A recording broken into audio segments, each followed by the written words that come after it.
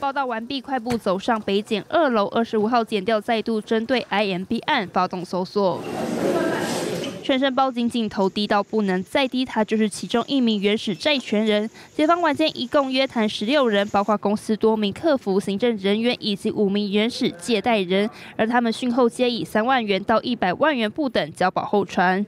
按比母公司协理严妙生也二度遭到约谈，讯后以六十万元交保。另外，新竹营运处处长陈振中则是生涯禁见。严妙生呢，他都是呃大账房，就是。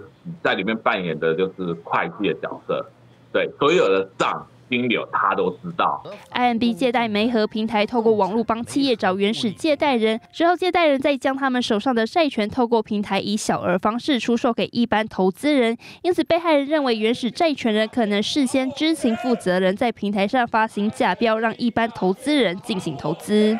他们并不是受害者，因为呢，他们呢。